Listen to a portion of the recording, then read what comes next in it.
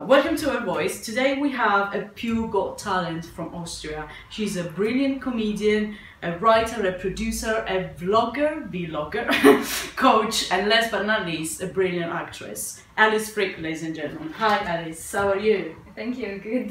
Thank you very much. How does it feel to be in, enjoying the Her Voice project? Um, great, because I'm very passionate about it. Okay. I think it's, it's a great cause. okay. So. Cool, cool. Thanks for joining us. Thank you. Thanks Thank for you. having me. uh, listen, I have some disturbing news today for you. Uh, you probably know that already, but I was reading the other day uh, a couple of uh, data regarding the uh, female actresses and the uh, situation of the uh, movie industry and for, for women. And going through these details, I read that uh, Meryl Streep, she has won three Oscars and she still gets paid half of her uh, co-actors. And it's just, and we're saying, I mean, we're talking about Meryl Streep. Yeah. And so uh, there are these are really disturbing news to me, and I, I really uh, struggle to understand. What what do you think about it?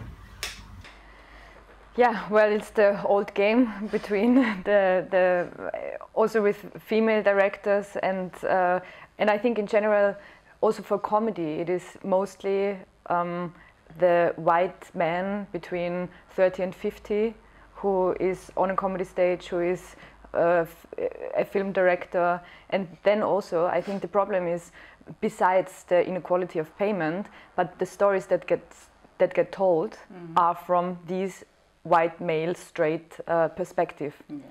So all the movies we watch, it's kind of like a, a, little bit of a brainwash because we don't see the diversity in that. Mm. It's always the same That's structure. True. That's true. So does it happen to you that your your art, whatever you do, from comedy to uh, writing to movies, does it get compared only to what other females do, or do you also get compared to uh, men men work?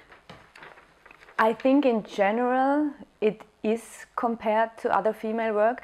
I know, for example, for writers' competition, they sometimes have a competition where you don't write down your name, so it's gender neutral. Okay, because then they say, uh, then they really compare the art, because otherwise it's ah, uh, it's a woman who who tries to write an action film or something, and it's automatically um, uh, judged yeah. by yeah. the gender. Mm.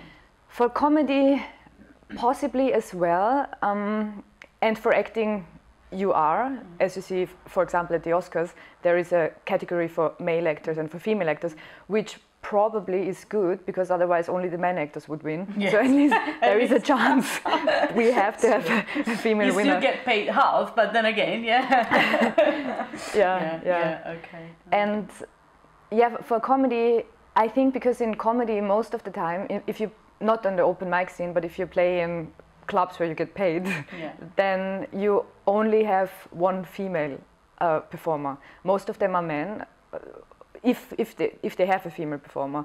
Um, but if they have a female performer, I not often find myself with more than one or with another one. Mm.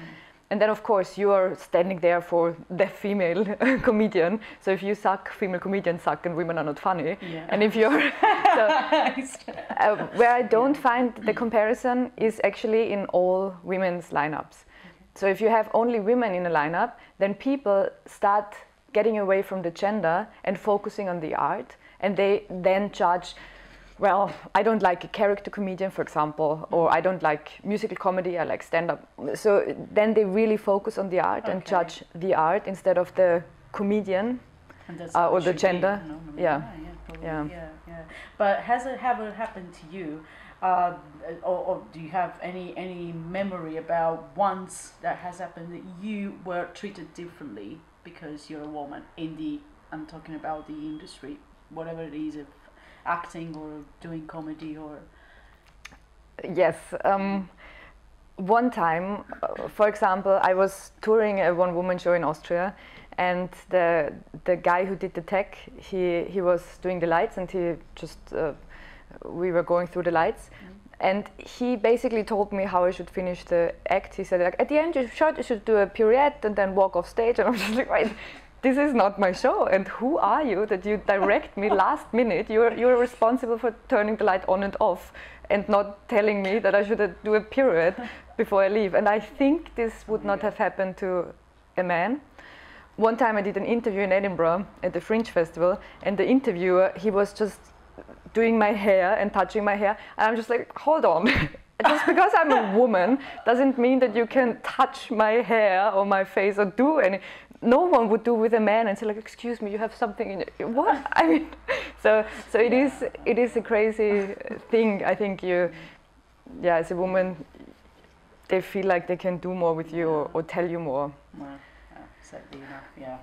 But uh, uh, regarding your art, um, as you have a being judged more as sexy than uh, purely based upon the art and the talent, or described um, as sexy, or. Uh, well, I, I, have to go over my reviews probably to. I try to not read reviews. but probably there is. you can find something there. Um, I know from uh, I was performing in Germany and I observed it there because I performed in a quite famous club there, mm-hmm.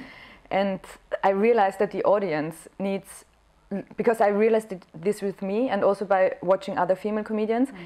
The audience does look at the woman at the women they look up and down they check out their clothes.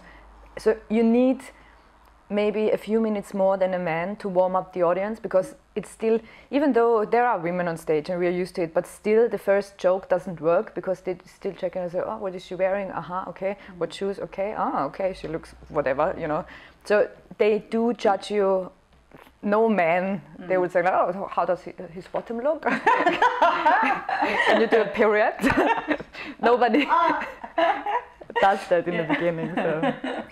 yeah, but um, do you think that from a different standpoint, uh, being a female can sometimes help or play in your favor?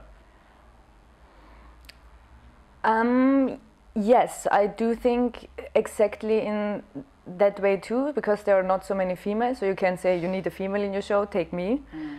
But then again, I think it's um, I don't know if it's necessarily a favor or if it's.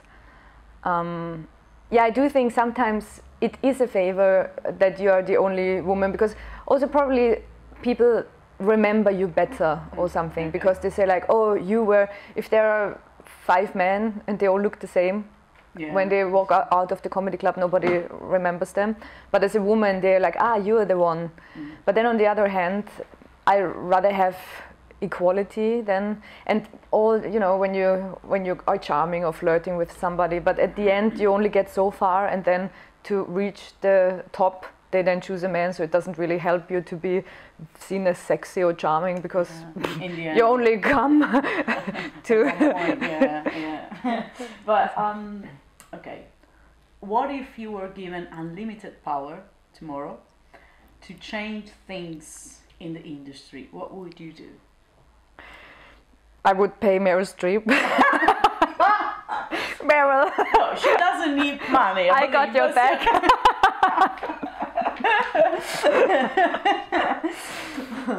or maybe cut the half of the man. Yeah. Let's do that. Cut the half of the.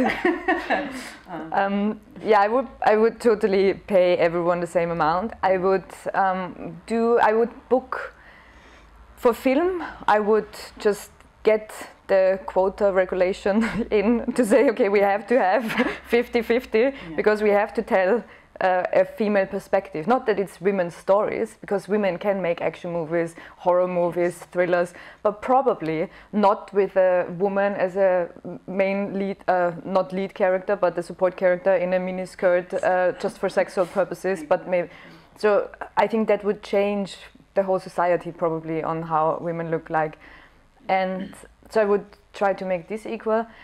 And then I would probably, for comedy, I would probably do what I try to do with my own show, with Laughing Labia, where I have an all female lineup.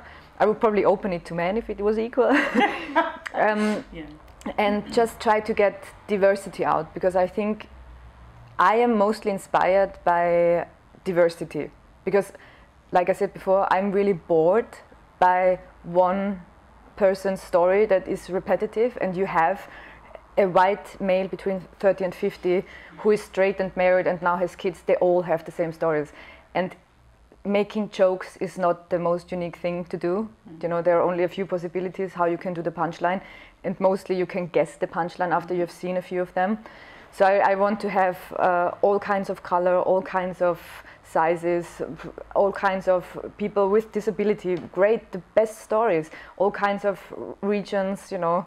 Yeah. Um, so uh, I like diverse character act, musical act, other acts, crazy acts, whatever, because then you can say I don't like it, but then you have ten other acts where you say like I like the others. So yeah, I like diversity. Yeah, yeah.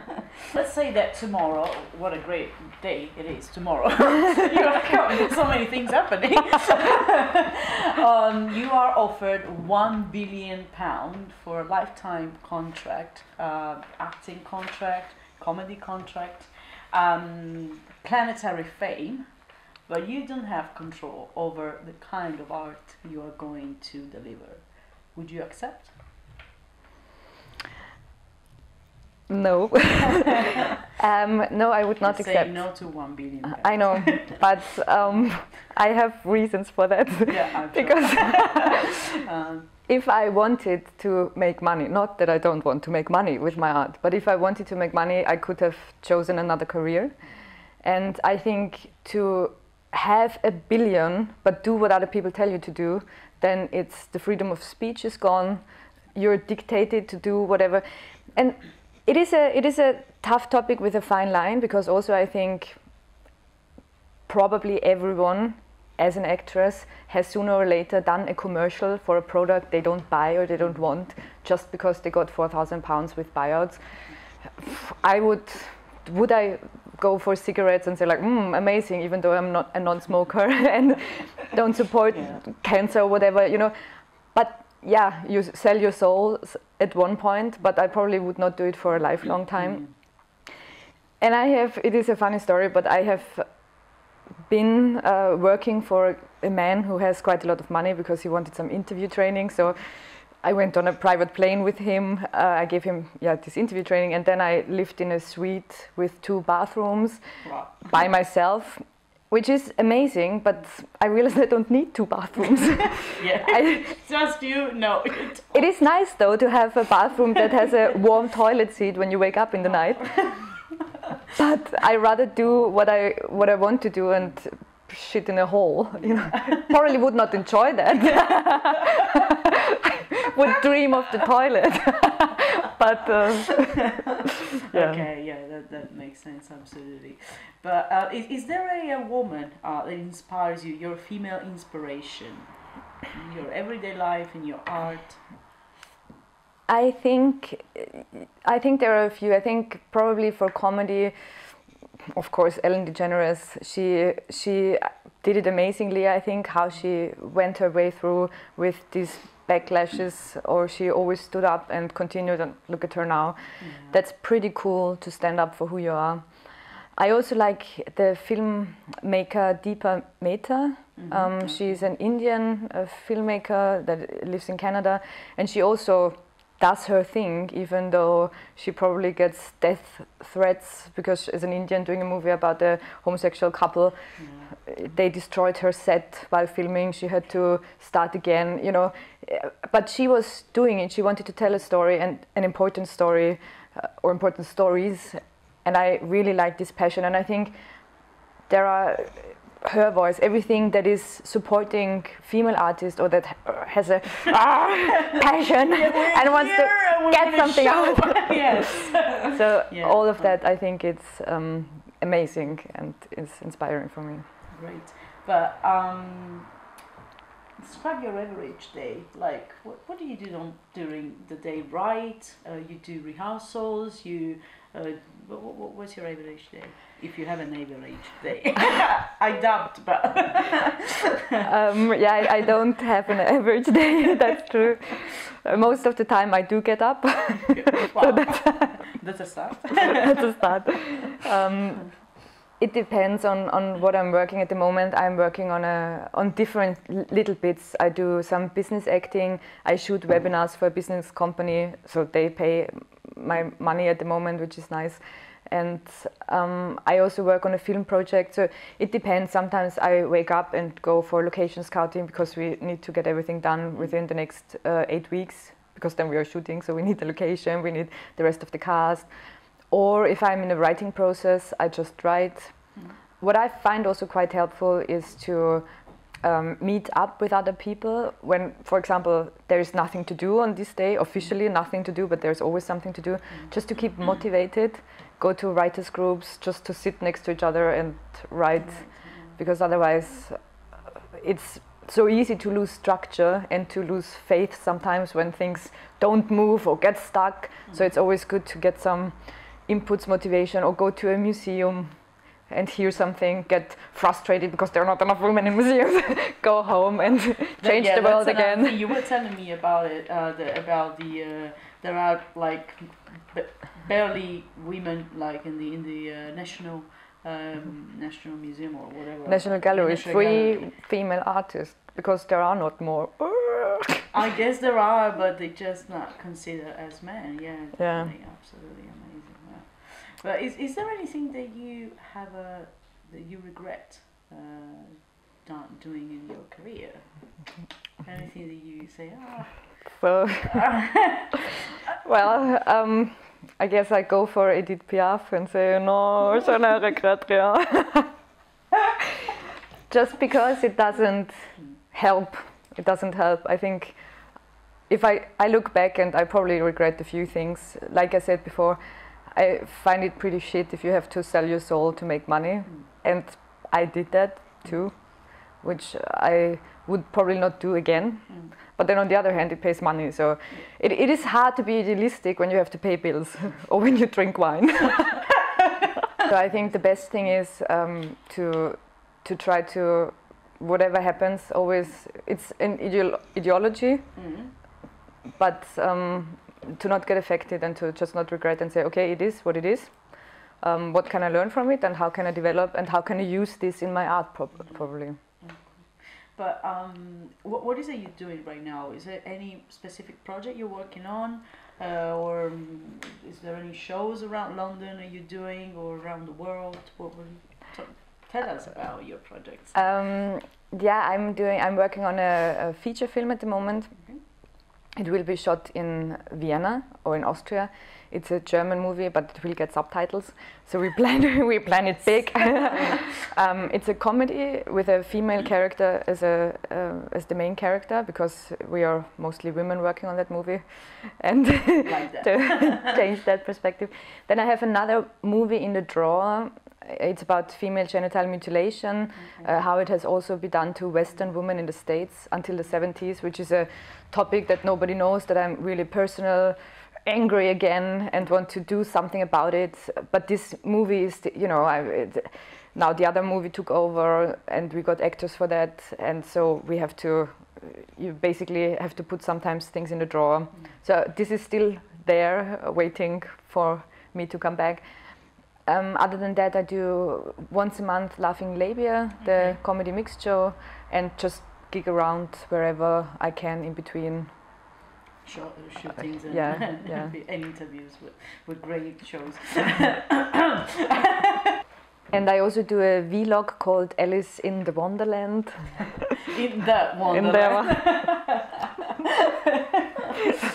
So okay. yeah, these are the things that I'm doing. Okay. Is it on YouTube? Is it a YouTube? It's channel? on YouTube. Yeah. Okay. Yeah. And what's the um, address? It's on on my YouTube name Alice Frick, okay. and then it's called Alice in the Wonderland. I have to figure out the technical details with technical people. we'll just Google it. I'm sure it will come up. Okay, good. Um, now, last thing is, I know you're Alice Freak. You say you're Alice Freak. you probably are. oh, no. But still, I need a proof. Okay. Okay. So, um, how about you tell me a joke? Okay. well, I tell you a joke. Uh, a joke. Possibly because this is from a music magazine. Okay, yes. Um, yeah. So I actually wanted to become a musical comedian and I learned to play the saxophone. Mm. But then I realized blowing and playing doesn't really work together. so you see, I, am very lesbian. but um, but and some people when I say I play the saxophone, they ask me, "Oh, you play the saxophone? What do you play? Jazz or blues?" I say, "Well, I play the scales." Not the big career. But I finally had my saxophone exam. Okay. You know, it was me and a lot of six-year-olds, and I was I was I passed the exam. I passed it Oh, that's good. with my masterpiece uh, Twinkle Twinkle Little Star. and the saxophone uh, examiner said to me, You have a really strong blow and a great tonguing. I was surprised about the blow. I knew about the tonguing. I think this is a great way to finish off. yes, I think that was great. Thank you very much, Alice, for joining us. You're welcome. And, uh, Thanks for having me. Thank you. Thank you.